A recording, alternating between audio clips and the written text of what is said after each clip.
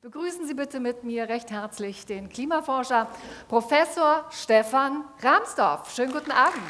Ich freue mich riesig, weil das meine erste Veranstaltung mit einem vor Ort präsenten Publikum seit Monaten ist durch die Corona-Krise. Seither nur Online-Vorträge gehalten und auch Online-Meetings gemacht. Der Vortrag wird aber auch noch auf eine zweite Art besonders, denn das ist äh, nicht mein normaler Titel, aber ich wurde eben gebeten, jetzt nicht nur einfach nur die Fakten darzulegen, die kennen natürlich viele auch schon, sondern auch so ein bisschen äh, aus dem Leben eines Klimaforschers und meinen persönlichen Erfahrungen mit der öffentlichen Klimadebatte äh, zu plaudern. Und ich habe da so ein paar Elemente auch eingebaut. Als Physiker komme ich allerdings an Fakten und Datenkurven auch nicht wirklich vorbei. Ich denke, das werden Sie mir sicher nachsehen.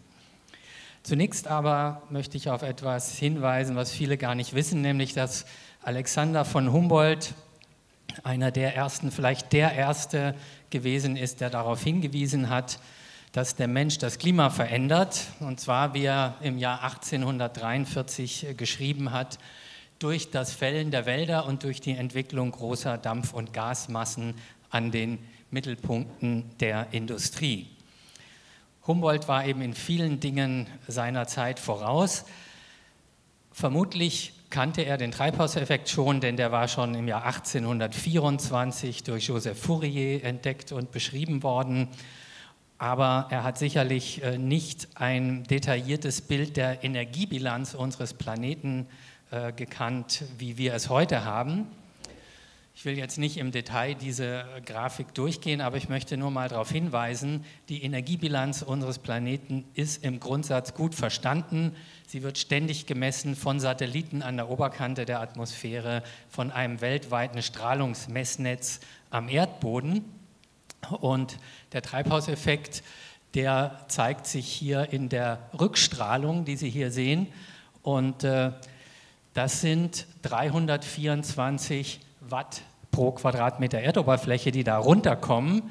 Und das ist kein kleiner Teil, denn wenn Sie ups, ähm, hier rüber schauen, die an der Oberfläche ankommende Sonnenstrahlung, absorbierte Sonnenstrahlung ist nur 168 Watt pro Quadratmeter. Der Treibhauseffekt ist stärker als die ankommende Sonnenstrahlung. Und äh, das allein der natürliche Treibhauseffekt, ohne den unser Planet überhaupt nicht lebensfreundlich, sondern komplett gefroren wäre. Auch die Zunahme des Treibhauseffekts, die uns heute beschäftigt, ist einfach eine Messtatsache, das kann man nicht bestreiten. Diese Kurve zeigt einfach Messungen einmal von der tatsächlich gemessenen Zunahme der Rückstrahlung, die man am Boden messen kann, im Vergleich zu dem theoretisch erwarteten Wert aufgrund der steigenden CO2-Menge in der Luft. Und Sie sehen die rote und die graue Kurve, die stimmen hervorragend überein.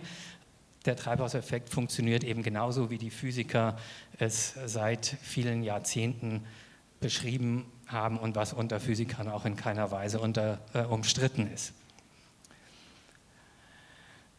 Das Problem ist, wie gesagt, wir verstärken diesen Treibhauseffekt. Das zeigt diese berühmte Messkurve von Keeling, der Anstieg der CO2-Konzentration auf dem Mauna Loa in Hawaii. Äh, kurz vor meiner Geburt begonnen diese Messkurve. Da war der CO2-Wert noch bei 315 Watt pro Quadratmeter und inzwischen liegen wir schon bei etwa 400, äh, nicht Watt pro Quadratmeter, ppm natürlich. Ähm, 315 ppm. Inzwischen liegen wir bei 415 ppm. Und äh, da steht aber eine Zahl rechts oben dran. Dieser Anstieg macht einen Strahlungsantrieb von 2 Watt pro Quadratmeter.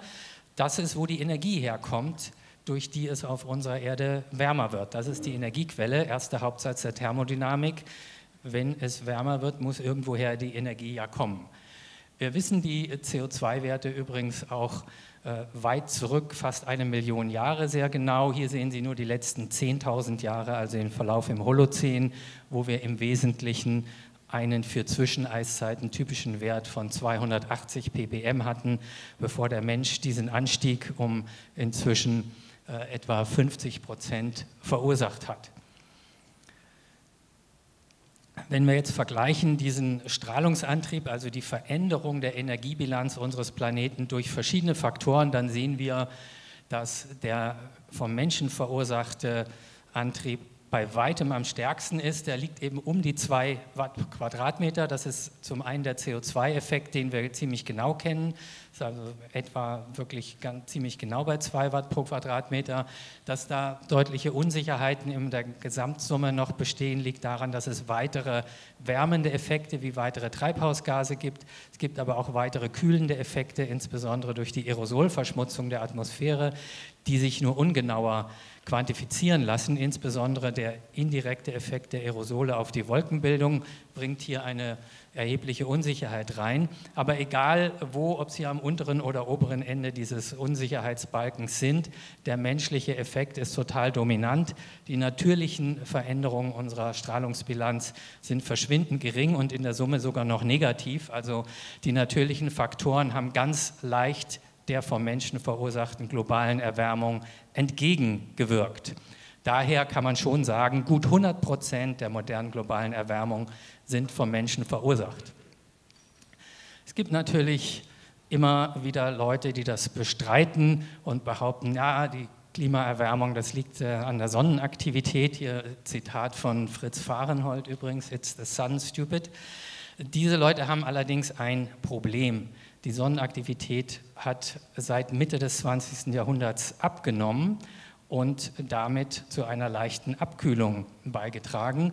Das Klima erwärmt sich aber immer weiter und äh, die Lösung dieses Problems liegt meistens darin, wie auch in dem Buch Die kalte Sonne von Fritz Fahrenhold, wo der Titel schon andeutet, ja, kalte Sonne, schwache Sonnenaktivität, dass diese Abkühlung einfach noch nicht da ist, warum auch immer, die kommt jetzt gleich. Und tatsächlich enthält das Buch auch eine konkrete Prognose, finde ich sehr lobenswert, äh, nämlich die blaue Temperaturprognose, die Sie in diesem Buch finden werden, jetzt im Vergleich zu den tatsächlichen Messdaten. Das ist die am schnellsten falsifizierte Klimaprognose, die ich je gesehen habe. Und sie stammt eben auch nicht von der Klimawissenschaft, sondern von einem Herrn, der Manager bei RWE war, dem größten CO2-Emittenten Europas. Da ist vielleicht nicht ähm, ganz neutral die Einschätzung. In der Tat sehen wir in der Klimadebatte etwas Ähnliches wie bei der Debatte um das Rauchen, um die Schädlichkeit des Rauchens. Da gab es auch solche wunderbaren Anzeigen und äh, eine wunderbare Anhörung vor dem Senat, wo die Chefs aller Tabakfirmen der großen äh, sagen, nein, Tabak macht nicht süchtig. Das Video zeige ich auch immer manchmal ganz gerne.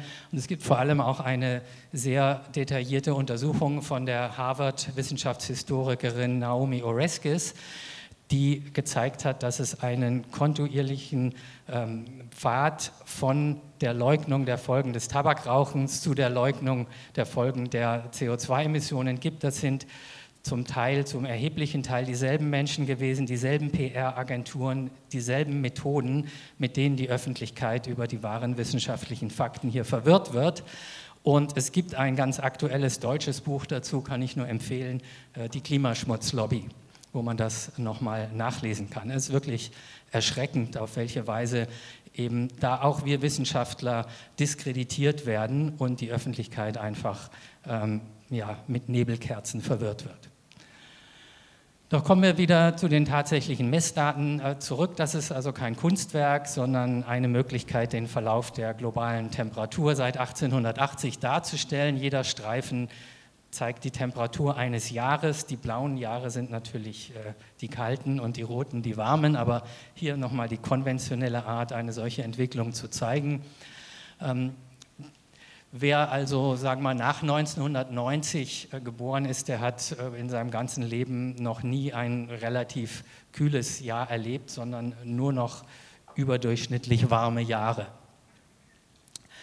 Und diese Erwärmung ist übrigens vorhergesagt worden. Es gab schon 1965 den ersten offiziellen Bericht für die damalige US-Regierung, der davor gewarnt hat, dass durch die CO2-Emissionen eine globale Erwärmung kommt, das Eis schmelzen wird, der Meeresspiegel steigt. All diese Dinge können Sie schon in dem berühmten Revell-Bericht von 1965 nachlesen.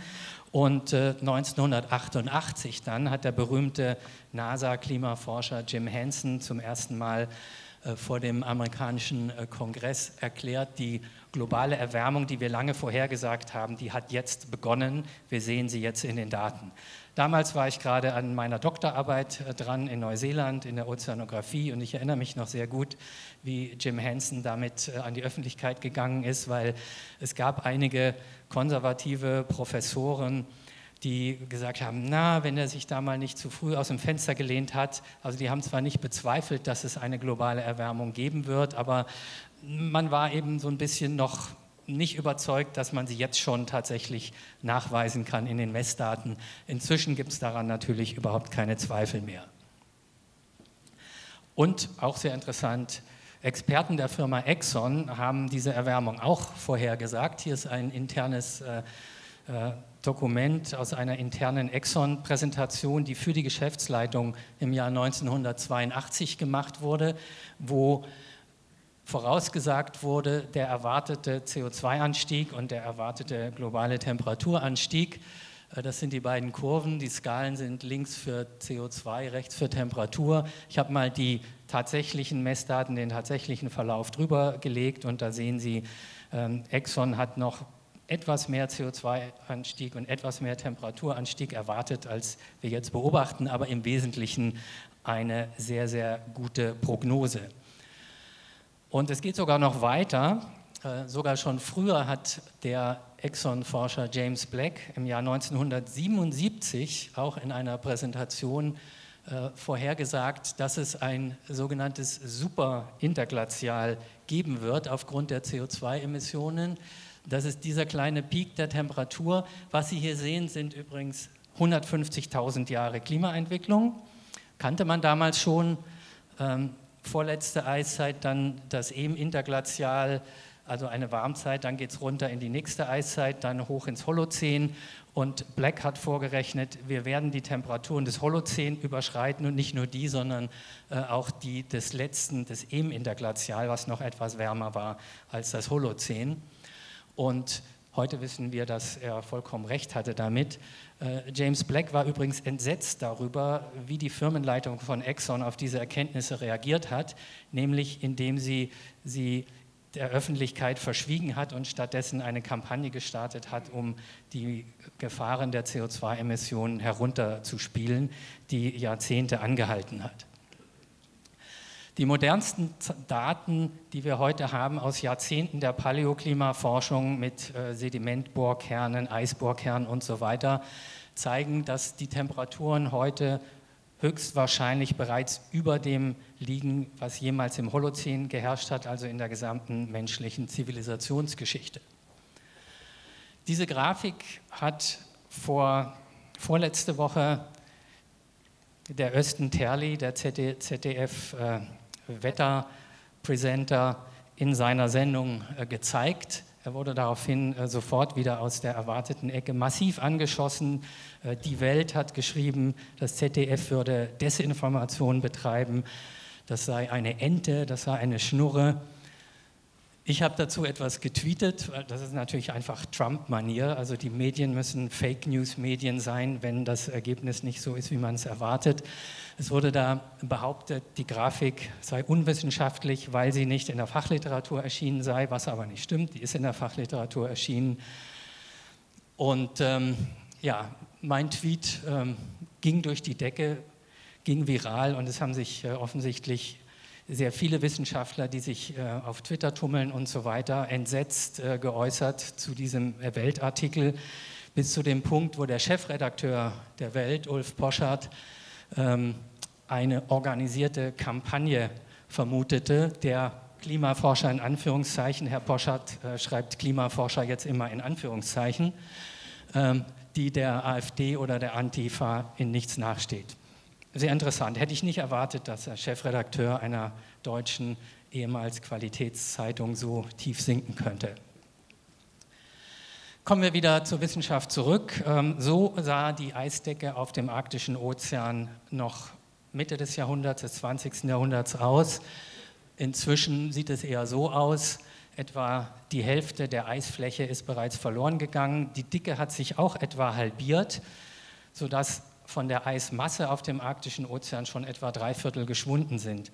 Gestern hat die Polarstern den Nordpol erreicht und keine dicke geschlossene Eisdecke vorgefunden, nicht mal am Nordpol, sondern ähm, dünnes Eis gemischt mit offenen Wasserflächen. Können Sie im Internet anschauen, die Fotos. Es ging gerade durch die Medien. Und die meisten, die hier sind, werden sicherlich auch dieses noch erleben. Das kann sich nur noch um wenige Jahrzehnte handeln, bis wir kein Eis auf dem arktischen Ozean mehr im Sommer haben. Im, Im, Winter in der Polarnacht friert das natürlich wieder zu, aber das wird das Ökosystem ganz massiv verändern.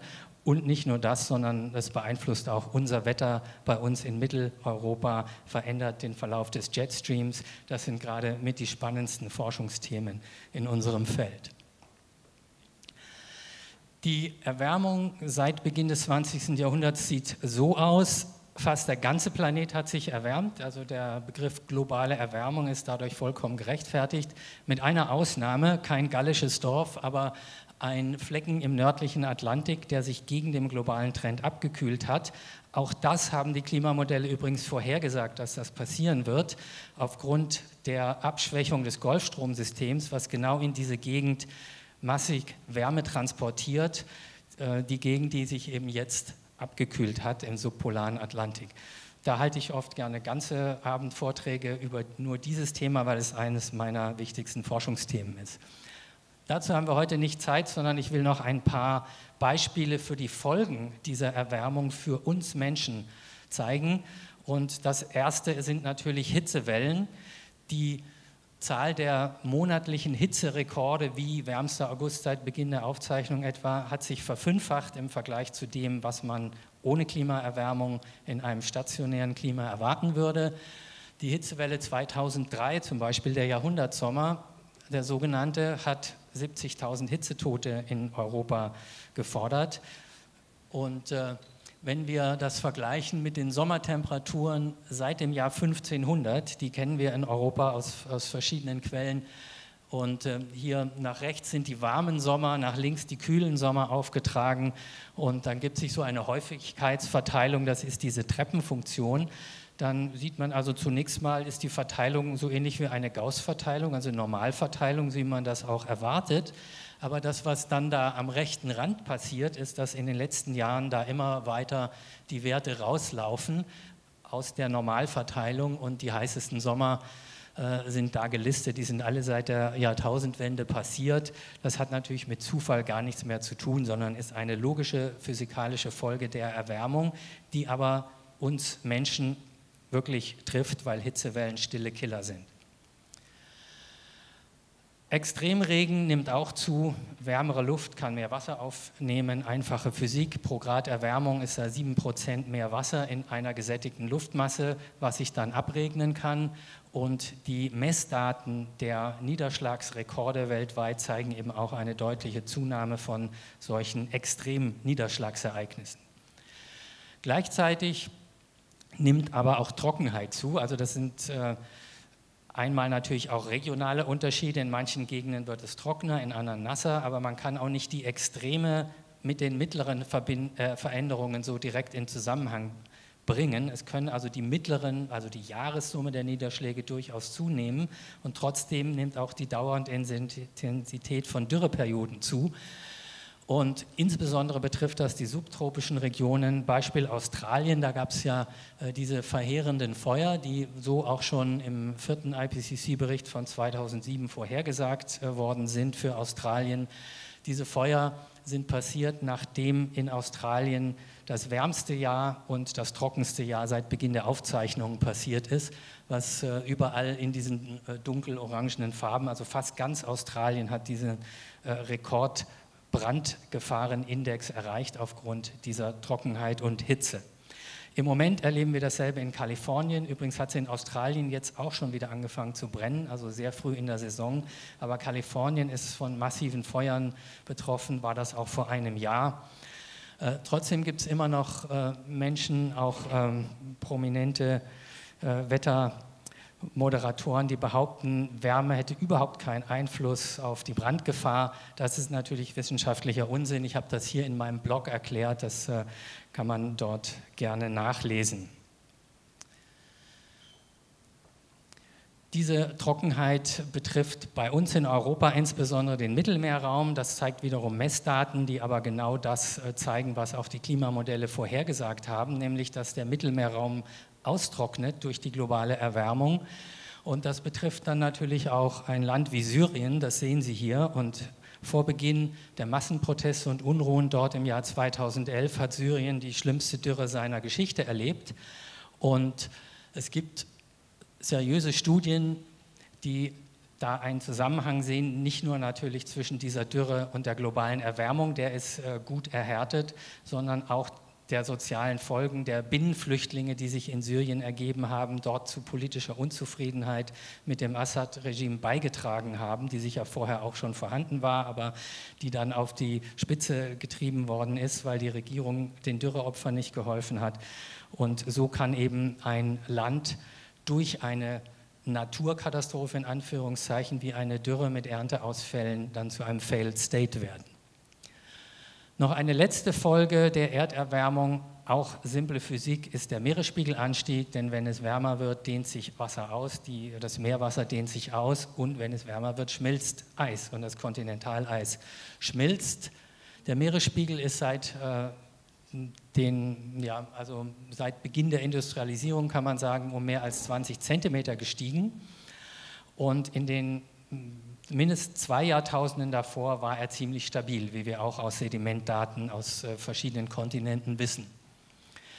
Auf Dauer, also Sie sehen hier erstmal die, die Projektion bis zum Jahr 2100, da unterscheiden sich diese beiden Szenarien noch gar nicht so arg. Blau ist übrigens das Paris-Szenario und Rot ist äh, ein Szenario mit weiter wachsenden Emissionen. Im Paris-Fall, wenn wir die globale Temperatur unter 2 Grad äh, stabilisieren können, verhindern wir nur, dass der Meeresspiegelanstieg sich weiter beschleunigt. Er wird Jahrhunderte weitergehen, weil es einfach sehr lange dauert, bis das Eis schmilzt.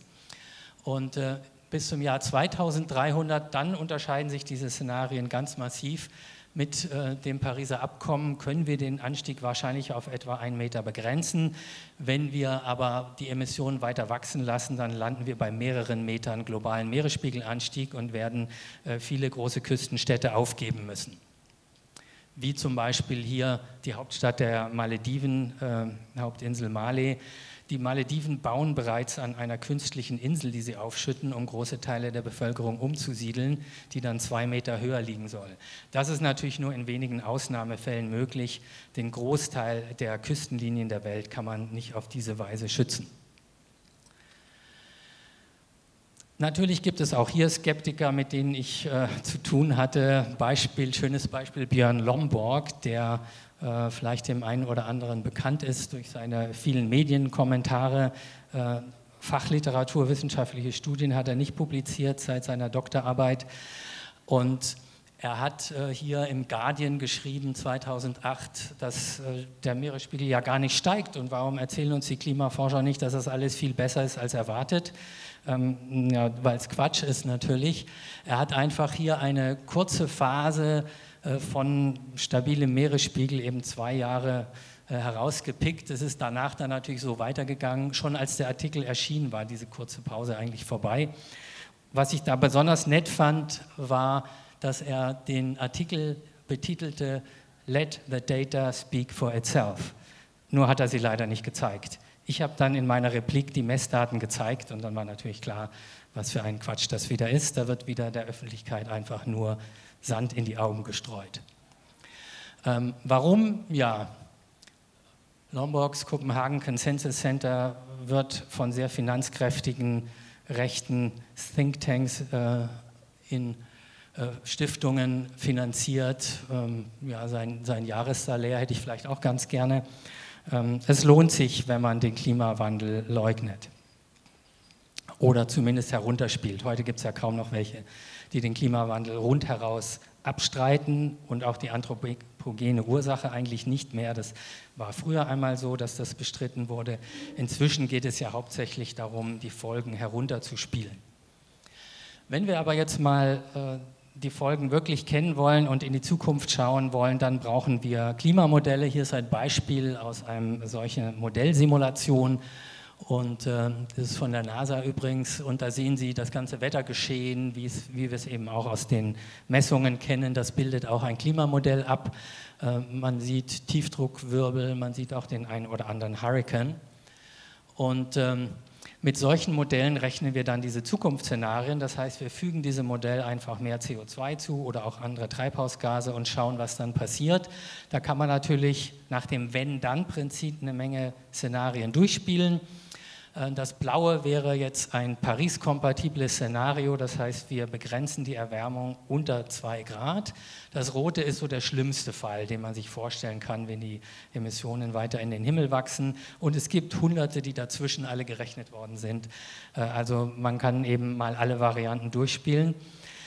In Paris wurde eben zum Glück beschlossen, auf diesem blauen Pfad einzuschwenken. Das ist sicher ein historischer Erfolg in der Menschheitsgeschichte, dass sich alle Staaten geeinigt haben auf Maßnahmen, von denen sie genau wussten, dass die das Wirtschaftssystem erheblich umkrempeln werden und dass es bedeutet, auf Nullemissionen von CO2 zu gehen, nämlich man hat sich geeinigt, die den Temperaturanstieg deutlich unter der 2-Grad-Grenze zu stoppen und Anstrengungen zu unternehmen, ihn auf, sogar auf 1,5 Grad zu begrenzen. Und das ist ja auch genau die Kernforderung, die die jungen Menschen äh, von Fridays for Future auf die Straße tragen.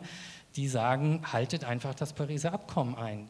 Da habt ihr euch alle darauf geeinigt, alle Staaten. Der Bundestag hat das einstimmig gebilligt. Jetzt macht mal, macht eure Hausaufgaben. Und ich finde diese Forderung natürlich vollkommen berechtigt.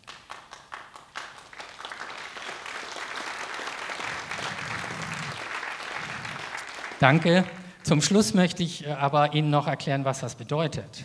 Denn wenn wir die Temperatur begrenzen auf einen bestimmten Wert, egal ob 1,5 oder 2 oder selbst 3, dann bedeutet das, wir haben nur noch ein bestimmtes Restbudget an Emissionen von CO2 zur Verfügung, die wir uns noch erlauben können, weil CO2 sehr lange in der Luft bleibt. Äh, über 10.000 Jahre sind immer noch äh, große Teile des CO2 in der Luft von dem, was wir heute ausstoßen.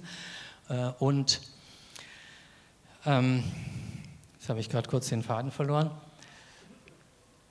Ja, weil, genau, und weil das Ausmaß der globalen Erwärmung eben an, von den kumulativen Emissionen abhängt, von der Gesamtmenge, die wir seit Beginn der Industrialisierung verursacht haben. Und wenn Sie da eine Limit ziehen wollen in, für den Temperaturanstieg, bedeutet das nur noch eine Restmenge an CO2. Und die ist hier aufgezeigt in einer Studie, die, an der ich auch beteiligt war. Ich habe auch diese Grafik gemacht, haben wir 2017 in Nature publiziert. Ähm, die durchgezogenen bunten Linien zeigen ein äh, CO2-Budget ab 2016 gerechnet damals, mit dem man eben so etwa bei 1,5 Grad landet. Und das ist bei all den drei Linien das gleiche, 600 Milliarden Tonnen CO2-Ausstoß. Wir stoßen übrigens 40 Milliarden pro Jahr aus, nur um das mal in eine Perspektive zu setzen. Und das zeigt aber den Unterschied zwischen ein paar Jahre abwarten und sofort absenken. Und Sie sehen, mit der blauen Kurve hätte man noch recht langsam runterfahren können. Mit der gelben, mit dem Peak in 2020 dieses Jahr, muss man schon steiler runterfahren. Und zwar auch, weil einem äh, der Zeitpunkt der Nullemission dann entgegenrückt, weil es eben auf die Fläche unter diesen Kurven ankommt. Das ist das Budget. Und mit der roten Kurve kann man es gar nicht mehr schaffen. Da muss man von Maximum auf Null innerhalb von zehn Jahren, das kann überhaupt nicht mehr funktionieren. Äh, wir haben das äh, schon 2007 im Wissenschaftlichen Beirat Globale Umweltveränderung der Bundesregierung vorgerechnet und äh, in einem Gutachten gesagt, deswegen müssen wir bis spätestens 2020 das Maximum der weltweiten Emissionen überschritten haben. Äh, das war sogar auf der Titelseite der Bild 2007 äh, eben hieß es, wir haben nur noch 13 Jahre, bis wir den Wendepunkt erreicht haben müssen. Es war natürlich kein geheimer Klimabericht, sondern einer, den Sie jederzeit runterladen können und der den Abgeordneten des Deutschen Bundestags als Bundestagsdrucksache auf den Tisch gelegt wird aber gehandelt hat man eben doch leider nicht entsprechend. Für Investoren bedeutet es, wir können von den fossilen Ressourcen, die im Boden sind, nur noch einen sehr kleinen Bruchteil nutzen. Stranded Assets für die Besitzer fossiler Ressourcen. Die kämpfen natürlich dafür, so viel wie möglich davon noch verkaufen zu können. Was bedeutet das für Deutschland? wenn man, das ist jetzt Klimagerechtigkeit, äh, wenn man sagt, das Restbudget, was wir zum Zeitpunkt des Pariser Abkommens hatten für die Welt, das verteilen wir jetzt mal gleich auf pro, gleicher Pro-Kopf-Basis über die ganze Welt, dann würde das für Deutschland bedeuten, äh, dass wir so viel noch übrig haben ab 2019, wie diese grüne Fläche zeigt, nämlich 7,3 Gigatonnen. Fast die gleiche Rechnung hat der Sachverständigenrat für Umweltfragen der Bundesregierung auch gerade in diesem Frühjahr vorgerechnet, also nicht meine Privatrechnung hier. Und es bedeutet eben im Vergleich zu den Minderungszielen der Bundesregierung, die 2050 auf Null sein will, ähm, ja, das reicht einfach nicht. Wir müssen eigentlich doppelt so schnell äh, reduzieren. Und wenn man dann hört, ja, aber Deutschland kann ja doch nicht vorangehen, wir sind in den OECD-Staaten im hinteren Mittelfeld, was die Treibhausgasminderung der letzten 15 Jahre anging. Also die Vorstellung, irgendwie Deutschland sei ein Vorräter, ist einfach nicht durch die Fakten gedeckt. So, jetzt komme ich zu meinen Schlussfolgerungen. Die Klimakrise ist real, sie ist von uns verursacht und sie ist vor allem dringend. Das äh, kann eigentlich, bestreitet kein ernstzunehmender Wissenschaftler, das ist Konsens in der Wissenschaft. Und die Folgen spüren wir schon heute. Das ist nicht eine Zukunftsprognose. Wir stecken mitten in der Klimakrise drin, extreme Ereignisse, Ernteausfälle. In Deutschland haben wir jetzt massive Dürre, anderswo brennt es. Äh, Hurricanes zerstören ganze Inseln wie äh, Puerto Rico. Also wir stecken mittendrin in der Klimakrise. Und Deswegen ist es so wichtig, das Pariser Abkommen jetzt endlich ernst zu nehmen und umzusetzen. Und leider bedeutet das eben weltweit Null Emissionen spätestens 2050, aber da es auf die Gesamtmenge ankommt, eben auch ab jetzt dann runterfahren. Und leider reicht eben das Tempo der äh, weltweiten Bemühungen, diese Emissionsminderung zu erreichen, bei weitem nicht aus. Und damit bedanke ich mich äh, dafür, dass Sie den schlechten Nachrichten so lange zugehört haben und äh, wünsche Ihnen äh, trotzdem noch viel Spaß bei dem heutigen Abend. Vielen Dank.